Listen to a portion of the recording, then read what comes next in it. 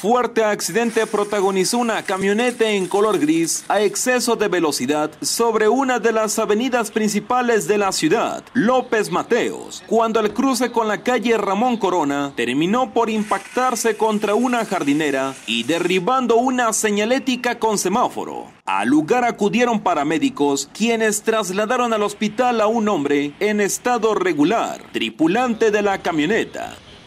¿Qué, lesiones son las que, Hay que descartar este una por favor? probable No estamos grabando. trauma de cráneo y trauma de abdomen.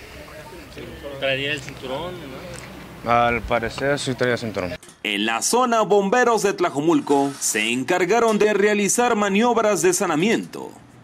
¿No había líquidos? ¿Derrame de líquidos? No hay derrame, solo quité batería y alguno que otro escombro que estaría volando. Aparatoso el accidente, ¿no? De- demasiado, pues ve. Los daños que se ocasionaron aquí estructurales. Pues tumbó la, la- el- el- los señalamientos y el semáforo, dañando también la jardinera del, del agua El estado de salud de esa persona está alcanzado. regular. ¿Dónde y dónde recibió los golpes? Este, yo le alcancé a apreciar en, en el- la cabeza y en la espalda solamente. Con imágenes de Arturo Vázquez e información de Armando Parra para Tráfico ZMG, Martín Alcantar.